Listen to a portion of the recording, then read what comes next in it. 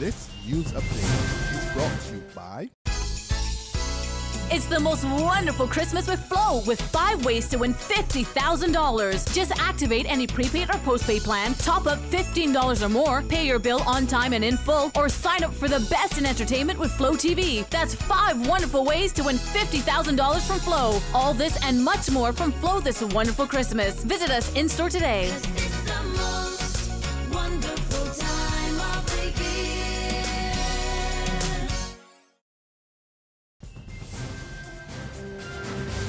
Wednesday, December the 21st, 2016, and this is your Barbados Today evening update. I'm Emmanuel Joseph. Thanks for joining us. We begin with news that Barbados has slapped a temporary ban on the importation of poultry and poultry products from the UK and all other European Union member states. The Ministry of Agriculture said today that with immediate effect, all live birds, hatching eggs, fresh, frozen, and chilled poultry meat and products, including table eggs, originating from the UK and the EU will not be imported for the time being. The ministry said these restrictions follow confirmation of outbreaks of highly pathogenic avian influenza or H5N8 in poultry farms in England. The import ban, however, does not apply to processed products and byproducts that have been processed. Health authorities have cut back on the administration of the anti-tuberculosis vaccine known as BCG to all children in Barbados. Instead, the vaccine will now be given to children who may be at risk of exposure to the TB disease before the age of five. The Ministry of Health said in a statement today that the change would come into effect from January next year. The ministry said that the BCG vaccine protects children under five years of age from complications of TB and is most effective if administered to children under age one who live or frequent areas with a high burden of TB. Chairman of the Barbados Tourism Marketing Inc., Alvin Jemmott, is optimistic of a strong winter performance Jemmott's predictions are based on data for the third quarter of this year, which shows that visitor spend continued to rise. The Caribbean Tourism Organization's quarterly exit survey for July to September 2016 reports that visitors spent 2.6% more during this period when compared to the same time last year. There has been mixed reactions by business people in the city and south coast on sales for Christmas. Barbados Today's Anmar Goodrich Boyce was on the road today and has this report. I'm standing in Cave Shepherd Bridgetown, where Barbadians are doing their last minute Christmas shopping. There are no silver bells, but it's definitely Christmas time in the city. With the most anticipated holiday of the year just four days away, Cave Shepherd Broad Street was a hive of activity this afternoon. When the Barbados Today team visited the store, customers were busy purchasing Christmas presents which staff members were wrapping. Location manager Andrew Franklin says there has been an increase in business and as Christmas draws near, he expects more sales. Sales have looked very, very encouraging and I'm sure that um, Cave Shepherd would be the place to be. Uh, the perfumery department is the department of gift, for looking for gifts of choice. Um, in the perfumery department, we're offering customers when they buy two perfumery, two perfumery items, they get the second item less 15%. So certainly um, customers are happy to be here, um, including in the liquor department where customers, when they shop in um, the liquor, when they buy the Johnnie Walker Black Label, the second bottle, they offer 50% off. Well, on the south coast in St. Lawrence Gap, vendors are complaining of slow business. So far, I ain't really seeing the sales that normally for December, you know what I mean, for, for the Christmas season. Yeah. That for the past couple of years, you know, things things was more things seems to be getting worse.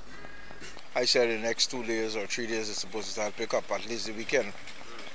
Thursday, Friday, Saturday I hope it'll be better.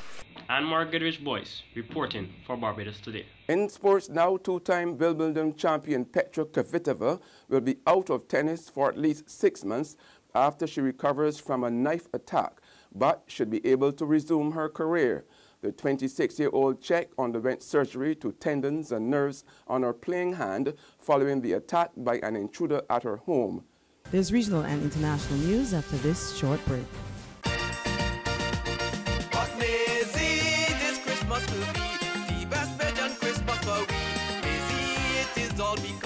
Public bank just like Santa Claus. Up the kitchen and new TV we. A special time to commemorate. Republic will you celebrate. Get ready to celebrate 50 years of independence right through to the best Bajan Christmas ever with a Make It Happen loan of up to $50,000 from Republic Bank. Give your home a good old Bajan up, buy some new furniture and appliances, or take an after holiday trip to visit loved ones over and away. You could also be one of our lucky winners to share in fabulous prizes. Just visit any branch to apply. Go to republicbarbados.com or call us at 227 2700. We're also available via Skype and FaceTime. Special conditions apply. Republic Bank, we're the one for you.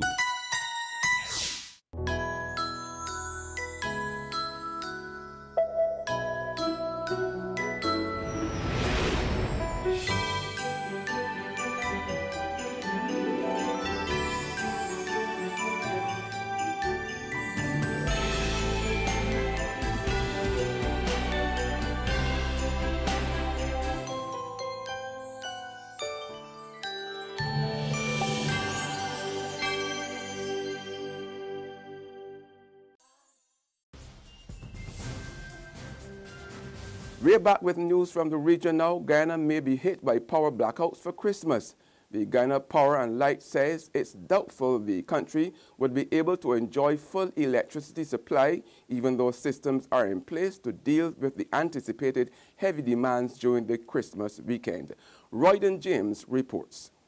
The Guyana Power and Light on Monday said that the company has put systems in place for the approaching long Christmas weekend in the case of an emergency.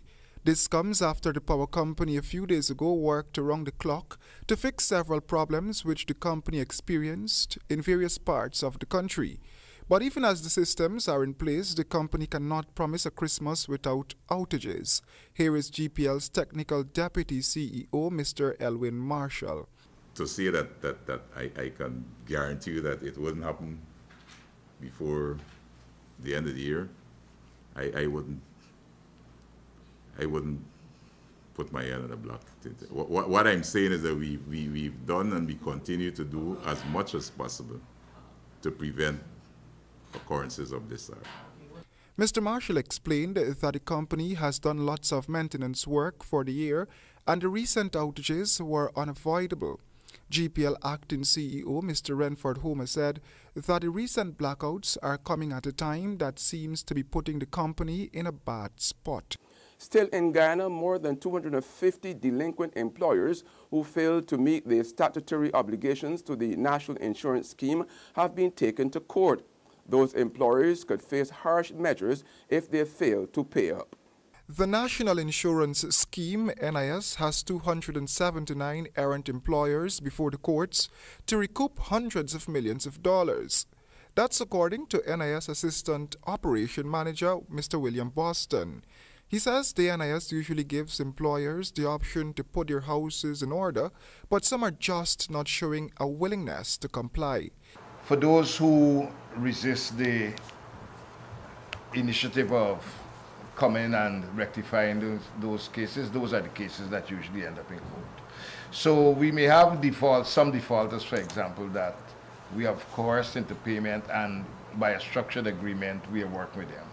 The 279 employers who are before the courts are those who would have failed to comply with the law and also failed to take up NIS's second chance offer. And on the international scene, the bodies of some of the 31 people killed in an explosion at a fireworks market outside uh, Mexico City are so badly charred that neither their age nor gender can immediately be determined. State prosecutor Alejandro Gomez said that so far, only 13 bodies had been identified. He said the forensic experts were now carrying out DNA tests to identify the blackened remains of the dead. More than uh, 70 people were also injured when the explosion happened. Among them were three badly burned children who are due to be taken to a hospital in the U.S. for treatment. That's news and sports, but for the very latest, visit our website at www.barbadostoday.bb.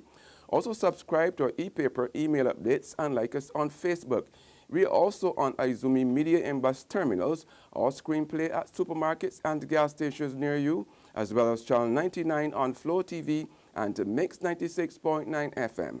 I'm Emmanuel Joseph. Have a fantastic evening.